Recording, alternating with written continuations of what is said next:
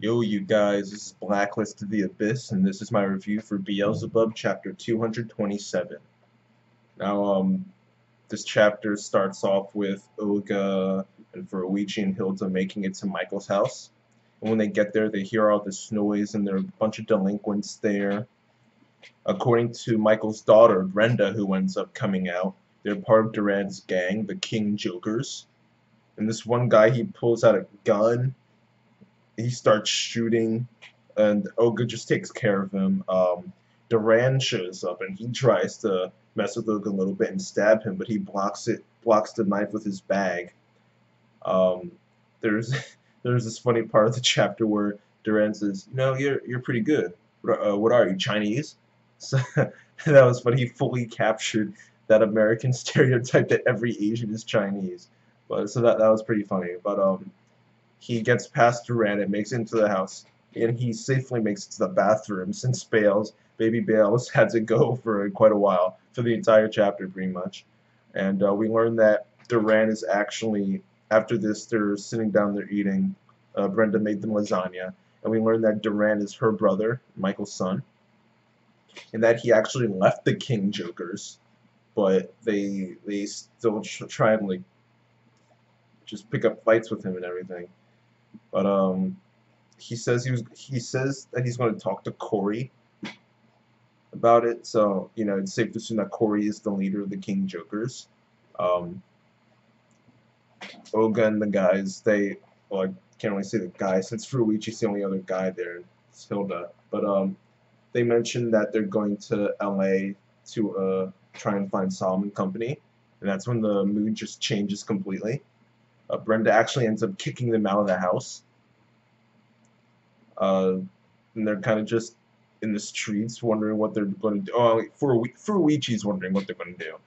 And uh, Michael just shows back up randomly, and um, he tells him that a few years a few years ago, Solomon Company showed up. They built this factory, and people were excited about it. They thought there were going to be jobs and everything, but it turns out it was the exact opposite. They took everyone's land, they took everyone's money. Uh, they took Michael's wife, which could either mean that she was killed or she's just been kidnapped and she's being held somewhere. And he also says that they took their youth, which, I mean, I guess you could do with that whatever you want to. It's not really, you know, it's not they didn't I'm sure they didn't literally take their youth. It's probably something like because of Solomon Company stuff that they would have been able to do when they were younger, they weren't able to do at that age because Solomon Company made made them waste so many years of their life doing like something like hiding or something. Their youth was spent doing things that they would not want to do, and that was because of Solomon Company, something like that. But um, after the those scenes with Oga and Hilda, Furuichi, and Michael, we actually go to the hideout of the King Jokers, and we see Corey, and he gets this phone call from LA, which is you know from the Solomon Company, and he they tell him that he, he's to capture Oga, which is ironic since they actually happen to be looking for Duran, and Corey actually asked, "How did you not get Duran?" Well, it's because of Oga, so it's kind of convenient in that regard. But um, clearly from this chapter, we know that the King Jokers are affiliated with Solomon Company. So um, there's also this one part of the chapter where he um, Corey mentioned a payment. He says that uh, the payment's due tomorrow, right, or something like that. So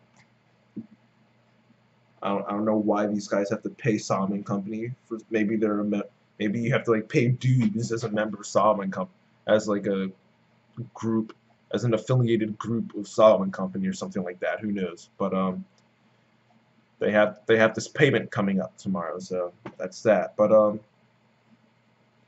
this chapter was it was all right. Um, there wasn't as much comedy as there usually is in Beelzebub. I didn't really laugh as much as I usually do. And as far as the story goes, we learned a little bit with um,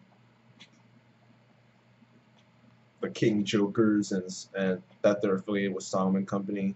That Duran is actually going to be relevant here, but uh, that's pretty much it for the chapter. So I guess I guess I'll give this one a seven out of ten.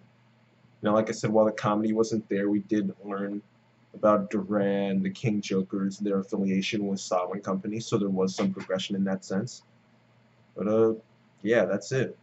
This chapter of Beelzebub gets a 7 out of 10. Rate, comment, subscribe, and I'll see you guys next time.